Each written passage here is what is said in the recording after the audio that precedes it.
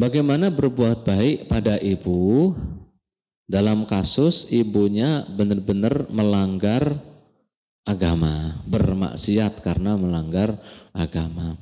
Ya dilihat maksiatnya.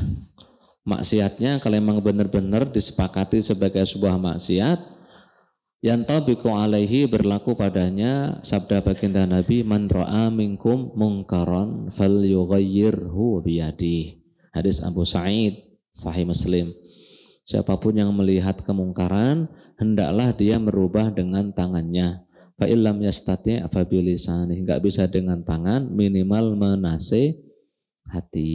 Enggak bisa menasehati dengan lidah fa illam yastati fa minimal mengingkari kalau keluarga saya yakin minimal dengan lisan bisa jadi mengingkari dengan lisan dinasehati jangan seperti ini ini tidak boleh kalau sudah kejadian berarti taubat pada Allah Subhanahu wa taala sebagaimana para sahabat juga mendakwahi keluarganya mendakwahi istrinya, mendakwahi bapaknya, mendakwahi emaknya untuk masuk Islam. Abu Bakar itu enggak kurang-kurang ngajak bapak emaknya masuk Islam. Tapi belum masuk Islam sampai Fathu Makkah baru bapaknya Abu Bakar Siddiq masuk Islam. Meskipun musyrik, kafir, non-Islam nanti akan ada hadisnya. Asma datang ke baginda Nabi mengadu, ibu saya masih kafir semaksiat-maksiatnya maksiat gitu ya. Tetap yang paling tinggi adalah kekafi, kafiran dan kemusyrikan. Oleh baginda Nabi disuruh berbuat baik. Apalagi maksiat biasa. Jadi tetap kita berbuat baik kepada orang tua, kepada ibu.